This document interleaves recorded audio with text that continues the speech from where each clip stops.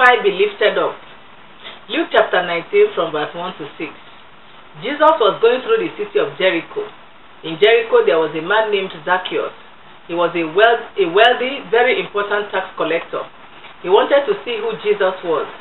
There were many others who wanted to see Jesus too. Zacchaeus was too short to see above the people, so he ran to a place where he knew Jesus would come. Then he climbed a sycamore tree so he could see him. When Jesus came to where Zacchaeus was, he looked up and saw him in the tree. Jesus said, Zacchaeus, hurry, come down. I must stay at your house today. Zacchaeus hurried and came down. He was happy to have Jesus in his house. Many people today are like Zacchaeus. They want to know who Jesus is. Unfortunately, many of them are looking for him where he is not, in strange religions, dead churches, and so on. Now, Jesus is not showing himself physically to everyone today like he did to Zacchaeus and many others in his time. He still appears to some, but has left a good portion of the showing to his followers. In John 3 14 and 15, Jesus said, And as Moses lifted up the serpent in the wilderness, even so must the Son of Man be lifted up, that whosoever believeth in him should not perish, but have eternal life.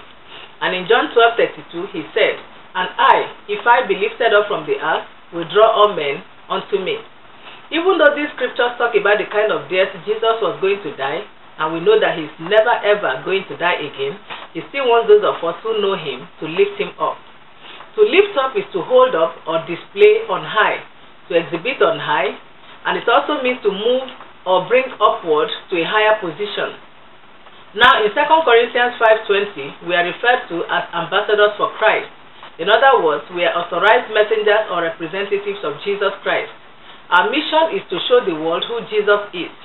This we are to do by preaching the gospel, that is evangelism, and also by acting out his nature for all to see. We are to present the beauty of the holiness of the Lord to everyone. We have a duty to make Jesus attractive so that people can desire him. Matthew 5:16. How well are you lifting Jesus up? Is your lifestyle drawing people to him or driving them away? In order to represent Jesus, though, we must know who he is, what his character is, and what he was like when he was here on earth.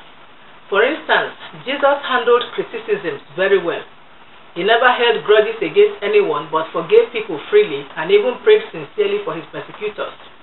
Jesus was humble and obedient. He was submissive to the will of God even when it was leading him to a shameful death.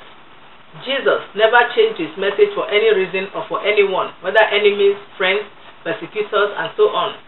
He remained focused till he accomplished his mission. Jesus dwelt among sinners, sick people, the poor, and so on, without looking down on anyone. He was even very respectful towards his followers. Jesus was hardworking all round. He knew that his time was very short and should not be wasted. He was a good example to his followers. He was not a taskmaster who wanted to drive his disciples too hard, but he was a caring master who understood that even though his followers needed to work hard, they also needed to take out time to rest. Mark 6:31. These are just a few of the things we learn about our Lord Jesus Christ as we study the scriptures. Be reminded that you cannot know Jesus enough to be a good ambassador for him if the only time you learn about him is when you go to church. To truly represent the Lord, go into the scriptures and find out who he is, what he likes, what he hates, and what he expects of you as his own, and so on. Jesus said in John chapter 5 verse 39 that the scriptures testify about him. Therefore, study the scriptures on your own, go to Bible study, Sunday service, and so on, so that you can learn about him. Let Paul's desire in Philippians 3.10 be yours, that I, may, that I may know him and the power of his resurrection, and the fellowship of his sufferings, being made conformable unto his death. We should also develop a closer relationship with the Holy Spirit because he is the Spirit of truth and will teach us about Jesus. He also is the one that helps us to understand the scriptures. Do not stop at learning about Jesus and his likes and dislikes. Follow his footsteps. That is the best way to lift him up for the world to see. May the Lord grant us his grace in Jesus' name.